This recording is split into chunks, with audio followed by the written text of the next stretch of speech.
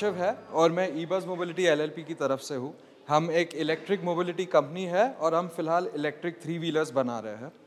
हमने अभी just auto के साथ इसलिए टाइप किया है क्योंकि उनका विजन बहुत ग्रैंड है। जो उनका विजन है कि वो जो नॉर्मल स्टूडेंट्स को इलेक्ट्रिक व्हीकल्स की ट्रेनिंग देंगे और इस through this training we will also be able to enable a lot of other players all across India to come and join the EV revolution. So without further ado, I would like to call upon stage Naveen Bhai to explain a little better. देखिए मैं just auto को बड़ा खुशी होती है कि किसी न किसी कंपनी के साथ हम एम करते हैं एम केवल एक छोटा सा शुरुआत नहीं होता बहुत बड़ा विजन होता है आपने कभी E wheel three wheeler two wheeler लोगों ने जगह जगह दुकानें देखी आपने सर्विस सेंटर देखे कि ईवी टू व्हीलर ने किसी ने चालू किया और एक बढ़िया सा सर्विस सेंटर बनाया। इसी कारण वो फेल हो रहे हैं पहला कारण। दूसरा उनके सामान की अवेलेबिलिटी नहीं है। तीसरा जो लोग ईवी के टू व्हीलर थ्री व्हीलर की जिन्होंने दुकानें डाल दी उनके लोगों के पास ट्रेंड मेन पावर नहीं है। तो वो काम प्रॉपर हो नहीं पा रहा है।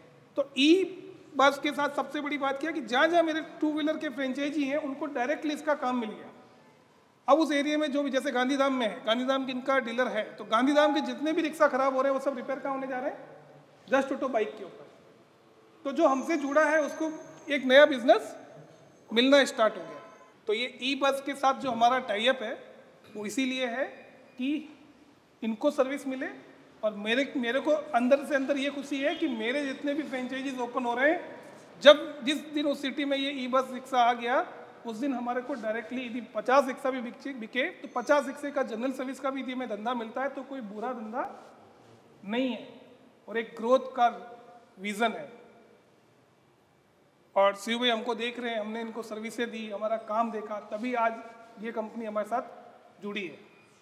तो इसीलिए हम इसको ऐड कर रहे हैं। और केवल इंडिया वाले नहीं नेपाल वाले भी सोच सकते हैं कि हम वहाँ पे भी एक ट्राई कर रहे हैं तो आप वहाँ पे भी कर सकते हैं।